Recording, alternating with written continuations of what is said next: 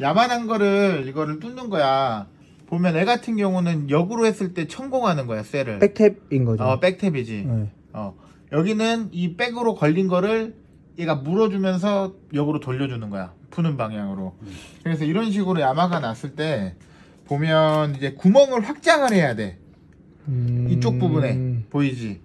그래서 역으로 푸는 방향으로 거- 조립하는 게 아니라 푸는 방향으로 걸어서 애를 돌리면 분영이 뚫려 이렇게. 봐봐. 구멍이 뚫리지? 네. 그러면 이제 어느 정도 뚫렸으면 반대로 바꿔가지고 이 탭을 넣어주는 거야. 나사선으로 쫙 해서 물려.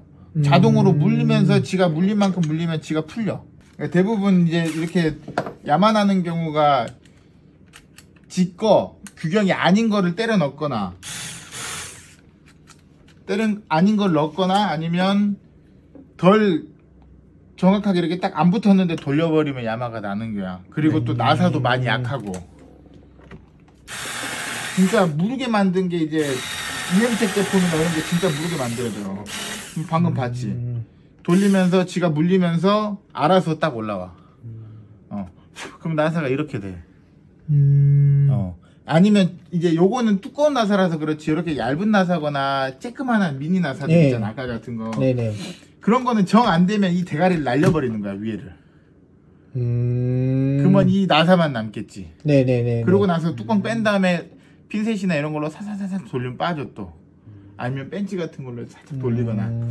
마이크로 벤치로 그래서 이걸로 해가지고 그냥 갈아버리는 경우도 있어 정 안 되면 음... 뭔 말인지 알지? 네. 작으면 작을수록 역방향으로 해서 조져봐라 어. 음. 그리고 웬만하면 이렇게 하다가 이래버리면 기스 나니까 네.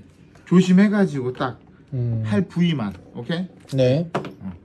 옆방에. 어 그래서 이런 거 같은 경우는 제일 규격이 작은 이제 베셀 거가 좋아 잘 만들었더라고 음... 안 그러면 이제 이 히카리 탭이라 하거든 그거를 쓰다 보면 애가 물러져 싸구려는 음... 베셀이 되게 유명해 일본 거긴 한데. 드라이버랑 이런 거 만드는데 유명한데 M3에서 M4 규격 오케이? 네. 음...